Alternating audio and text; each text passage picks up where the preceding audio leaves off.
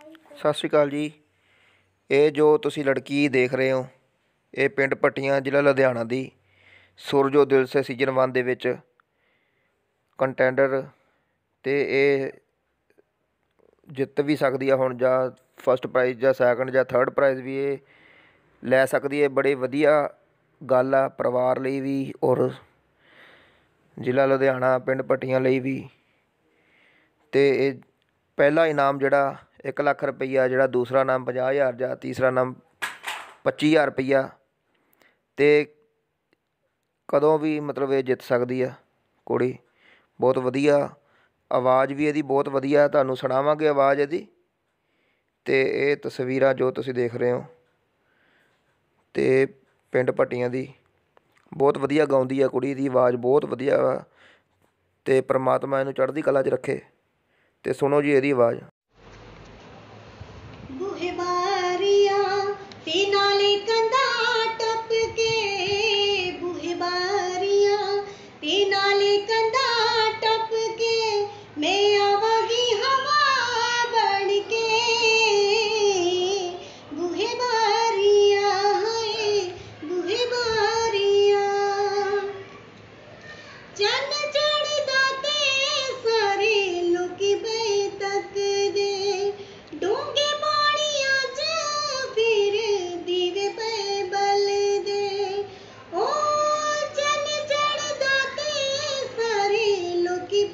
तत्